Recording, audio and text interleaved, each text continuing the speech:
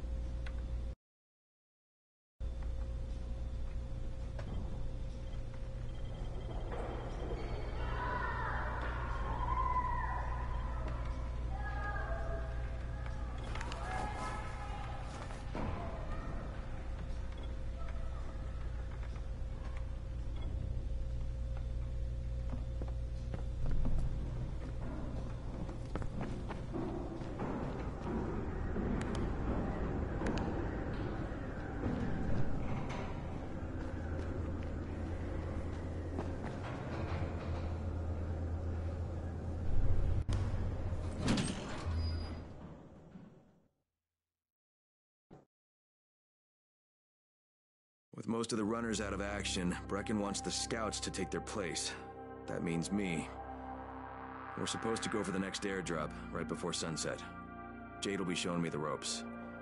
Yeah, that won't be awkward at all.